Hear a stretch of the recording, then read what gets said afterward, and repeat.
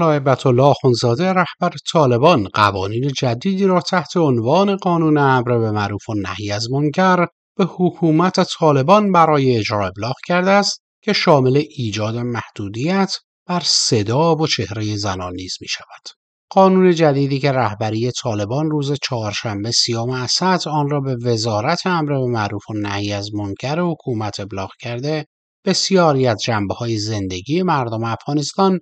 به خصوص زنان را در بر می‌گیرد. در ماده 13 قانون جدید که از سوی وزارت عدلیه حکومت طالبان اعلام شده پوشاندن تمام بدن زنان اجباری خوانده شده و بر اساس این قانون به خاطر ترس از فتنه پوشاندن چهره زنان ضروری است. همچنین در این قانون آمده است که صدای زن حتی اگر خواندن قرآن باشد به عنوان ستر عورت شناخته می شود مخالف شرع اسلام و ممنوع است. آسوشییتد پرس در این باره گزارش داد که سند 114 صفحه‌ای و 35 ماده‌ای قانون جدید امر به معروف طالبان نخستین سند رسمی قوانین مدون در موضوع امر به معروف و نهی از منکر حکومت طالبان پس از قدرتگیری دوباره در افغانستان است. اداره امور زنان سازمان ملل متحد می‌گوید وضعیت زنان افغانستان در دوران به قدرت رسیدن طالبان بد و بدتر شده است. عبدالغفار فاروق سخنگوی وزارت امر به معروف و نهی از منکر طالبان نیز روز پنجشنبه گفت طالبان اطمینان می‌دهند که این قانون اسلامی کمک بزرگی به ترویج معروف و پیشگیری از منکر می کند.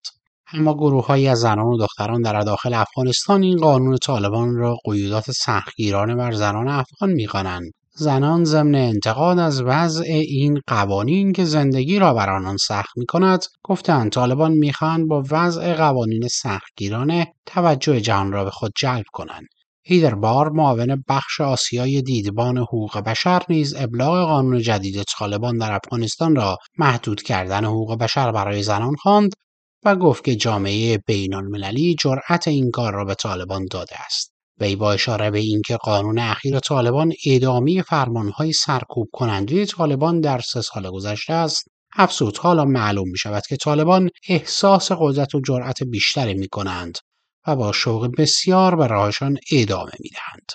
حکومت طالبان به تازگی وارد چهارمین سال شده اما همچنان با بحران مشروعیت دست و پنجه نرم می کند.